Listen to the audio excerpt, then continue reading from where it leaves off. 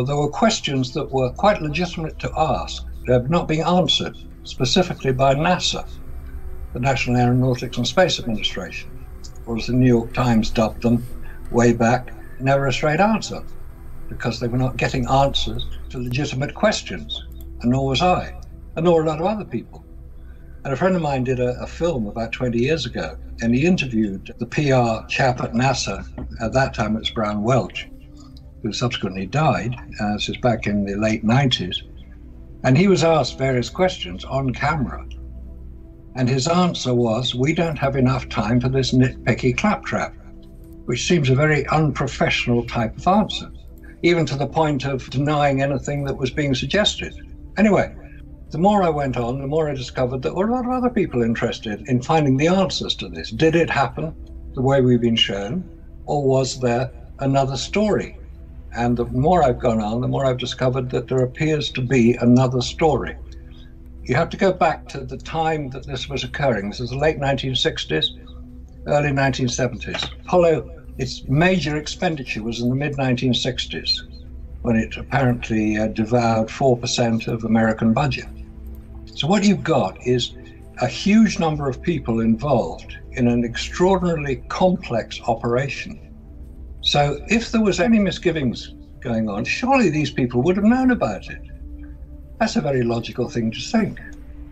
Until you start looking into the whole aspect of what was actually going on.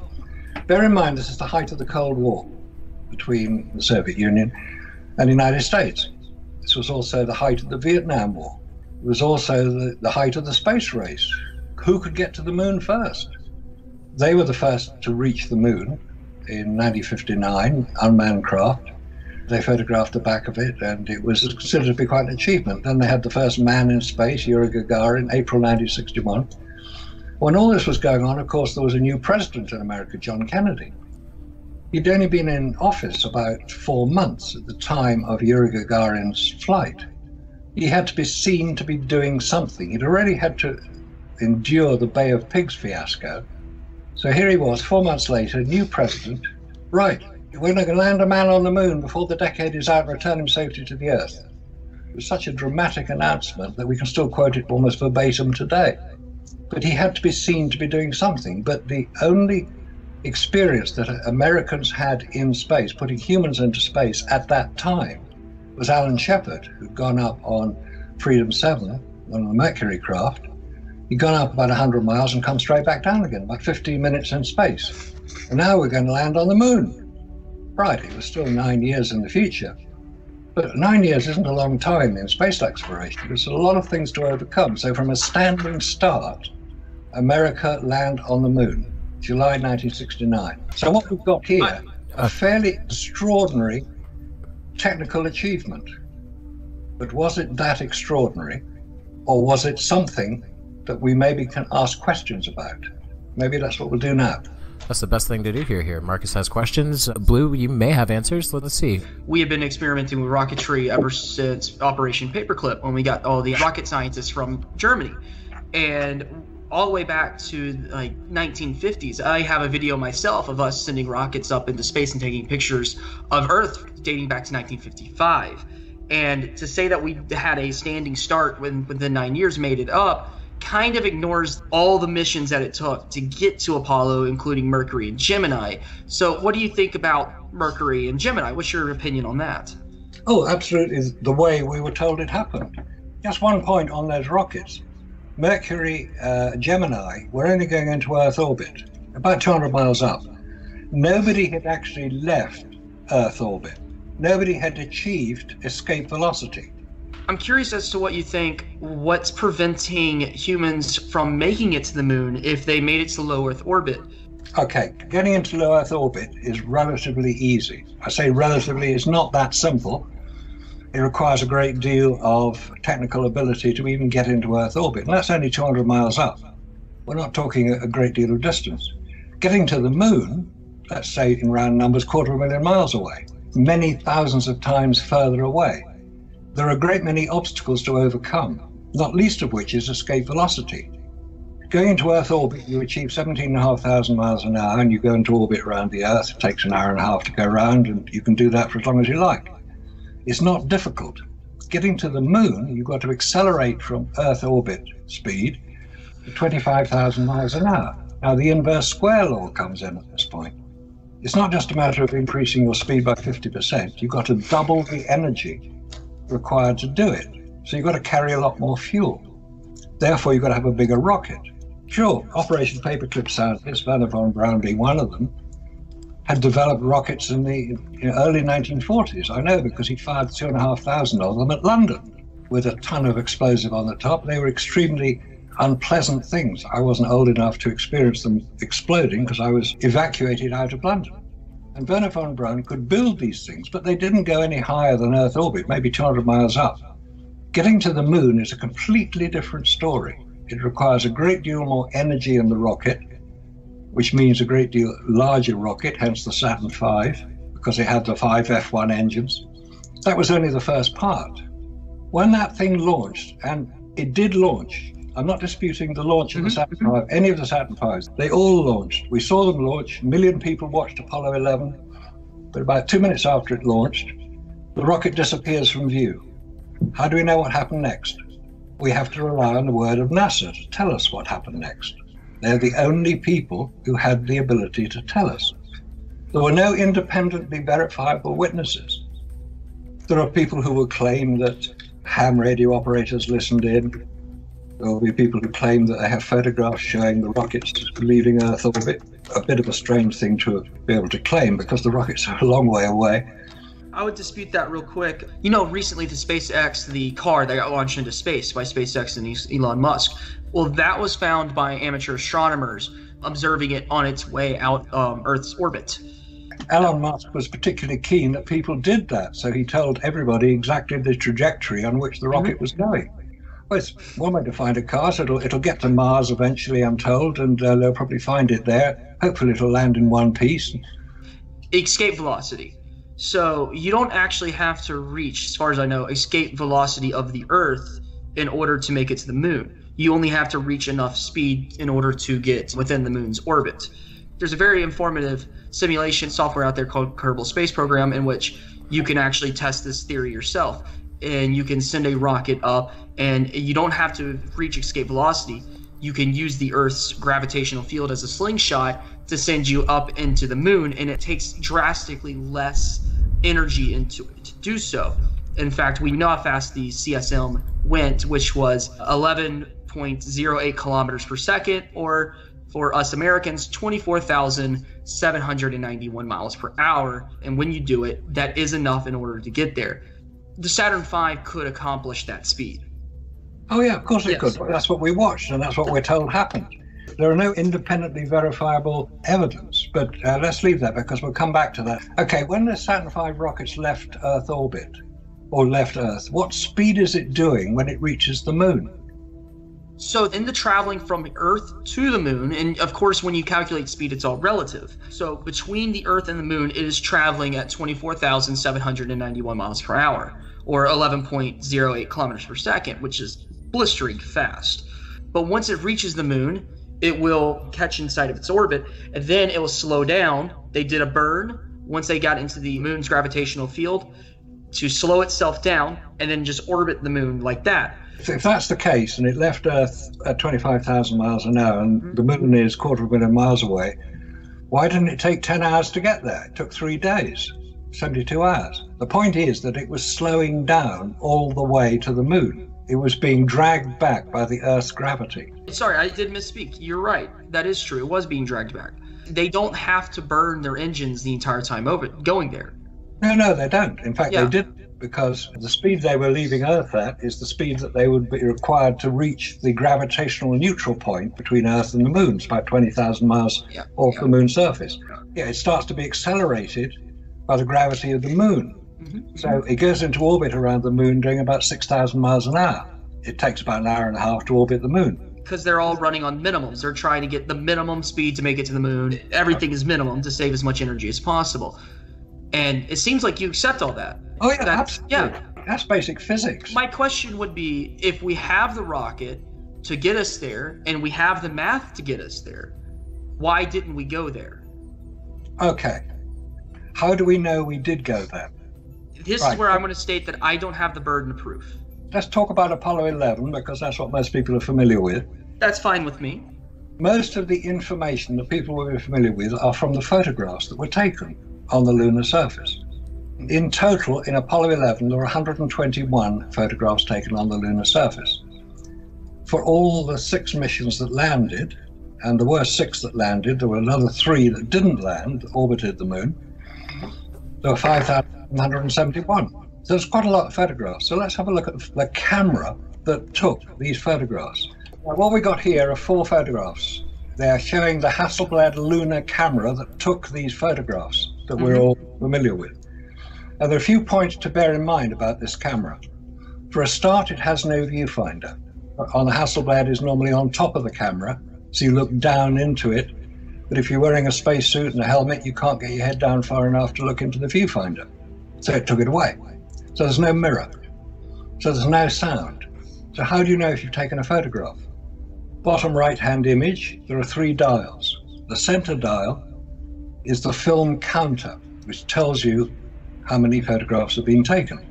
Bottom left, the little black square on the front of the camera is the shutter. The shutter button on Hasselblad is always on the front of the camera. Because they were going to be using armored gauntlets on their uh, spacesuit, they had to have a big enough shutter button to be able to press it. But they couldn't see it from inside the spacesuit. Bit of a problem that. They don't know if you've taken a photograph, you can't see the shutter to press it. The lens on the front of the camera is a manual lens. Now, this may all sound terribly 20th century and old fashioned, but this was not a point and shoot camera. It was not an automatic camera. The only automatic function it had was to wind the film on. After you take an image, the film would automatically be moved forward. By the batteries on the top right, you'll see the batteries underneath the camera. They're standard, made by Varta in this case, D2 style batteries. Hmm. On the lens, there are three dials which have to be adjusted for every photograph. The focus ring, the shutter speed ring, that's the f160th, f125th, f250th, or the aperture setting, that's the f5.6, f8, f11. Each of those has to be set. If you change your view, i.e., you have to focus it, it's a wide angle lens, slight wide angle lens, 60 millimeter Biogon lens, but you still have to focus it. Now, the point is that if you can't see what you're photographing because you haven't got a viewfinder, you've got to point the camera in the general direction of what you want to photograph. How do you know you're not going to cut somebody's head off? Now, these are all highly trained astronauts, but they're not necessarily highly trained photographers. They know how to operate the camera because they've been using them quite a long time when they were walking around photographing their family in a barbecue. But they had a lot of other things to do when they're on the moon. Not just take photographs. They had to collect rocks. They had to put the flag up. They had to talk to the president. They had to walk around. They had to make sure the video camera was set up properly. They had to make sure the film camera was working properly. So you've got all these restrictions on use. And in the two hours, 21 minutes that Armstrong was on the lunar surface, he took most of the photographs. And have you actually seen a photograph of Neil Armstrong on the lunar surface? There is supposedly one, but that's all. Most of the pictures show Buzz Aldrin. They did have two cameras, one for each astronaut, but they only used one, which seemed a bit peculiar. Now, there's another problem that arises here. We mentioned that these were taken with photographic film. They were not digital cameras. Photographic film cannot work in a vacuum. It's destroyed. It becomes too brittle. It outgasses. The emulsion on the film outgasses. The film itself becomes very, very brittle. Now, how do we know this? Right. About 18 months ago, I attended a talk in London given by the designer of the camera system for the Hexagon spy satellite. He's retired now, but he was very proud, and quite rightly so, of the equipment that he helped build and design for the Hexagon spy satellite. And the Hexagon spy satellite was necessary following the shooting down of Gary Powers in May 1960 when he was flying over Russia, photographing all their missile sites and bomber squadrons. Got shot down, so President Eisenhower at the time said, right, no more overflights. So they had to get around to doing spy satellites. But satellites at that time were unmanned, so they had to have a camera that worked automatically. It was a film camera. that was used in the Hexagon spy satellite. And almost in passing, the person giving the talk said, Well, of course, we had to keep the film pressurized. I thought, What? Got to keep the film pressurized? Actually, asked him to confirm it. He did. He said, Yes, film has to be pressurized in a vacuum, otherwise, it doesn't work. I then checked out the Hexagon spy satellite itself and found that the camera and the film, there was about three miles of film contained within the Hexagon, and it was all housed in a special pressurized environment. He actually pointed out the nitrogen gas bottle that provided the pressure. All right. And I thought, okay, you've got to pressurize it. Now, I also knew there was another satellite which used photographic film. That's the Lunar Orbiter, not the Lunar Reconnaissance Orbiter, which photographed potential landing sites for the Apollo craft in 1966, 1967. That used photographic film. All right. We've brought up a lot of points here. Would you be okay if Blue Earth Thing responds to some of those? Yeah, of course, please do. Look, if I'm wrong, I want to know about it.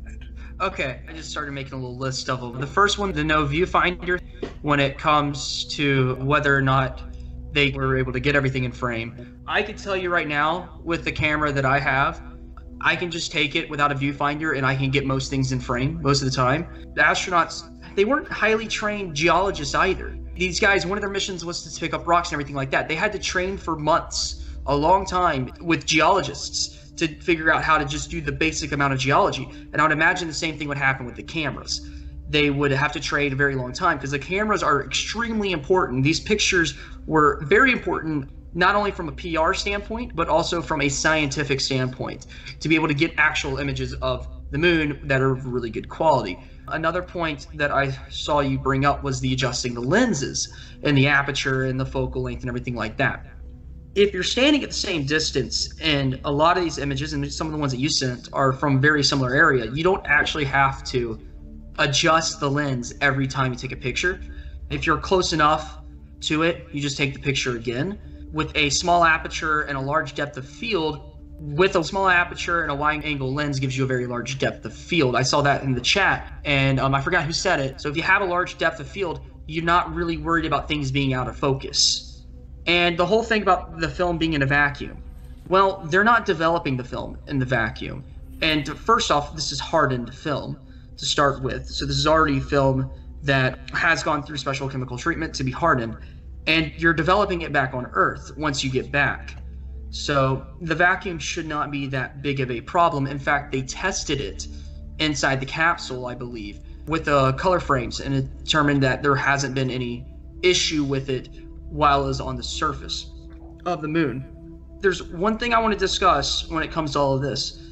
Let's say that every bit of imagery and film taken on film is fake we still have TV camera that was not on film from the moon. Okay, let's address that one. Just one point. The film was not developed on Earth on the lunar orbiter. It was developed on the craft. It's a Polaroid type development system. And then the film image was then scanned, transmitted to Earth, and reassembled. That's why we saw the pictures. The lunar orbiter is still up there, as far as I know. It's, it's not come back to Earth. On Apollo, yes, the films were brought back and developed here on Earth at the Johnson Space Center. The point about the pressure is that the vacuum levels on the moon are vastly greater than in low Earth orbit because the vacuum varies depending on height. The pressure that was required is about one pound per square inch, i.e., not very much, the equivalent of an aircraft flying at 60,000 feet here on Earth astronauts could survive at 3.8 pound per square inch, I think was inside their spacesuits, which is more or less the same air pressure you would experience at the top of Mount Everest. Air pressure varies. Sea level is 14.7 pound per square inch, and it varies according to height because you've got less air to press down. So the idea that vacuum affects photographic film is a fairly well-known feature, fairly well-known fact about film, because the film itself outgasses. Now, there's some tests going on right now. I didn't know anything about vacuum affecting film until I heard this talk, I said about 18 months ago. Some people that I'm aware of know, know are also are doing testing using vacuum chambers, but there's a problem with that. Is that the only commercial vacuum chamber you can buy easily will only achieve the equivalent vacuum at the International Space Station, which is about half the level of vacuum that will occur on the moon. And that is a major problem. Because if you can't test for it, how do you know that you don't have a problem? You Any... can test a camera in a vacuum chamber. Oh, I'm not talking about the camera. I'm talking about the film, the photographic well, film. That, that would also be tested in a vacuum chamber. You sure of that? I would imagine so. Well, that's what everybody thinks. Well, of course they tested it, they'll say, but where is the evidence that they tested photographic film at 10 to the minus 11? That's the vacuum level on the moon. If you can't achieve that here on Earth, and it's very difficult to do that, even the Glenn Research Center in Ohio can't do that. It can do 10 to the minus 7, but not 10 to the minus 11. So, what I'm saying is that photographic film, we assume it was tested where is the evidence? I don't see it. A lot of people are trying to find that evidence, and they're still trying to find it. And this was done 50 years ago. But when NASA knew that photographic film was damaged by a vacuum because they put it in a pressurized housing on the only two spacecraft which used photographic film, the implication being that they were aware that photographic film is damaged in a vacuum. So they took steps to ensure that it was okay. So there's a major problem here. Here's the thing that I would say. I don't know much about film. I don't know much about the actual aspects of film. When it comes to radiation, I know that it could have easily survived the radiation, especially the pictures that we did get back that came back. But what I would argue is that it was impossible to fake it. The pictures that we do have show aspects that could not be achieved with the technology that we had at the time. Such as? All right, so let's go to the one of Neil Armstrong standing next to the little thing. I don't have a number for it, but it's Apollo 11 Extra 0307A 5. All you really got to do is just pull up any picture of yours that you have on the moon. It's one of uh, Neil Armstrong standing next to the little thing that he dropped, and he's looking at the lunar capsule. It might be Buzz standing there, but the point that I'm trying to make here is you mentioned the inverse square law earlier. And I'm asking, do you know the inverse square law when it refers to light? Same as sound and same as electricity. Yeah. So, what is producing the light for the scene? That landing module is, what would you say, a couple dozen meters from Buzz? Could be, yep. So, we're looking at a light in which, if you look at the ground all the way there, there is no droppage in light. There, no. There's no droppage at all in how bright it is. So we have to have a light that is far enough away and bright enough to make a couple dozen meters, which is not a short distance, irrelevant. And your point is?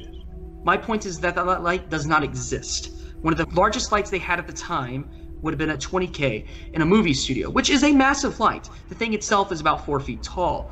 And let's say this is on one side of the movie studio, and the world's largest movie studio is about 200 meters from one side to the others. So, first thing we'd have to establish is the fact that the movie studios at the time were all accounted for. We don't know what studio this was, soundstage this was shot in. Apparently, NASA had built one, and we don't know what it was. Menlo Park. It's near San Francisco. Yeah, so 1,400 okay. square feet. Is that it? Well, that, that's a possibility. I'm not saying it was. It was built originally as an airship hangar. That's what I'm looking at. All right, and cool. It's, it's where Jeff Bezos wants to keep his private plane now. Don't quote me on this, but I think it was where Tom Hanks filmed that miniseries from the Earth to the Moon. All right. Which did reproduce a lot of these images.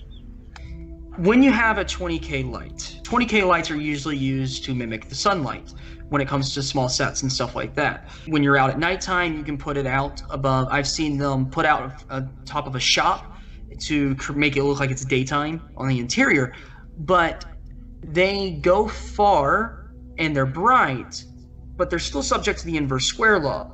And they're not bright enough to make a couple dozen meters irrelevant, would be my point. This light that we're having up in these images has to be bright enough to where it is lighting this to the LM and even further out. And you can make an argument that way out past the American flag would be a backdrop. You can make the argument of that, but still, from the LM to the flag, that's still like a dozen meters. So we're looking at potentially 40 meters right here where it's completely irrelevant we see zero change in the brightness of the lunar surface. How is that accomplished from a single light source inside of a studio? Miniatures. Miniatures. So Buzz right here is not standing there, that's a miniature. Could well be. What's the evidence to say that it's a miniature? The evidence actually occurs with the lunar rover. Quite a lot of these pictures of astronauts, I think with two exceptions, you don't see their faces. You see that the nameplate that they've got on their chest, and it says E. Aldrin on that one. But a lot of the other ones, they're further away, and quite a lot of it would appear to be using mannequins, miniatures, and models. Is it possible to tell the difference when you've got a skilled filmmaker using a snorkel camera, which will film, and when projected onto a screen, all the perspectives are correct, and you think that what you're looking at is for real, but it was actually done on a miniature set. Well, that, that's a fairly well established technique in Hollywood. Miniatures are pretty impressive, but again, if you can't tell if it's a miniature or not, then that doesn't mean it's a miniature. No, it doesn't. It doesn't mean it's not. That would mean that you're the one making the extraordinary claim here, and you would have to prove that's a miniature over just a regular photograph. All right. The only real evidence for that that I've come across is the film of the lunar rover, which I think was Apollo 16. It's the Grand Prix, right? That's right. If you look at the astronaut on that lunar rover, and there's also a bit of a mystery because they had TV cameras mounted on the lunar rover. Mm-hmm. A TV camera by the lunar lander and had a film camera inside the lunar lander. Mm-hmm. Hell was filming it. And what were they using? Was it TV or was it film? I don't know the answer to that. It's just a question that I've yet to have answered. The point is that if you look at the astronaut sitting in the lunar rover, that this thing is bouncing all over the place because it's going quite fast, hence the term Grand Prix. So Uh, it wasn't. It was not going fast. It was going fast enough so that it was bouncing up and down. Yeah, but I believe it was going less than 15 miles an hour. On the moon, that's fast. How do you know they weren't going to hit a sinkhole, a dust bowl? They didn't. But the point is that if you look at the astronaut, his arms are like this, and they don't move in the same way that the lunar rover moves, indicating it was almost certainly a mannequin and a radio controlled model. Could that be because he's gripping something? He's not gripping anything, his arm's right out here, held out. The only thing that the astronaut's hand should be on is the control panel, which is relatively low compared to the way his arm is in that point. It's a stick, it's a sort of tiller where he can change the direction of it using it. It was a very clever piece of kit, assuming it worked the way we were told. Can I address the lunar rover? Because I actually have a couple points. So, in order to make the lunar rover a miniature, that means that we're dealing with a remote controlled car, correct? Correct. Okay. So, miniatures in photography is pretty different from miniatures when they're moving in on film and stuff like that. This does not strike me as a miniature in any way. Addressing the arm holding up there, these are bulky suits that are really hard to move in. In fact, we just had to improve the suits because the suits were too hard to move in. Okay, so yeah, the arm is being held up, not holding anything. But I'm going to state real quick I do have a lot of experience when it comes to driving, when it comes to bumpy driving, particularly. And Right. it's not that difficult to keep your body still, especially if you're secured in a suit that is very bulky. That arm wouldn't be moving that much. Again, I would argue that these are highly trained astronauts, and I'm not sure. I'm, I've never been to the moon, so I don't know this for sure, but it could be a way of keeping your balance. It could be your arm is being held there in order to keep you in balance. It could be that the suit itself is bulky and it's hard to move the arm. It'd take a lot of inertia to get it to move up and down. Since they're on one sixth the gravity of Earth, there wouldn't be that much force acting on the person. You've just made one very important point. They're in one sixth gravity. Okay? Let's say the average person weighs what? 180 pounds. Let's go for that. I would, I would argue that the astronauts would probably be weighing about 200 pounds because they do have some muscle. All right, 200 pounds. Okay. Yes. On the moon, they're going to weigh a sixth of that. They've got a backpack on, which apparently weighs about the same as they do. So, in effect, no matter what they weigh, they will weigh one third of their weight on Earth. It's not the weight that is necessarily the amount of problem, it's the flexibility of the materials. He weighed 360 pounds in 17% gravity? Yes. Come on. He weighed up 360 pounds on Earth. Armstrong wasn't a big person. But what we're talking about is the weight they weigh on the moon. What's the answer they give there? 360 pounds. Now, that is wrong. That is completely incorrect. I will read this quick. A backpack weighs 60 newtons, 13 pounds on Earth. Neil Armstrong's total mass was about 160 kilograms with spacesuit and backpack. The moon did not pull as hard on him as the Earth did, so he weighed less on the moon. At the surface, the moon's gravitational pull is only 17%. On Earth, with his heavy spacesuit and backpack, Neil Armstrong weighed about 1,600 newtons. He weighed 360 pounds here on Earth. So, answer with his suit and backpack, Neil Armstrong weighed about 270 pounds on the moon. Let's say that Armstrong weighed 150 pounds. Let's say his backpack weighed 150 pounds on Earth. That's 300 pounds on Earth. On the moon, it's one sixth of that weight. I, instead of 300 pounds on Earth, he would weigh about 50 or 60 pounds on the moon, or the equivalent thereof, because of less gravity. The point I'm making is that though his energy will be the same, he will appear to weigh considerably less, and therefore there will be less friction between his boots and the surface. It will be as if he is walking on ice. Ice.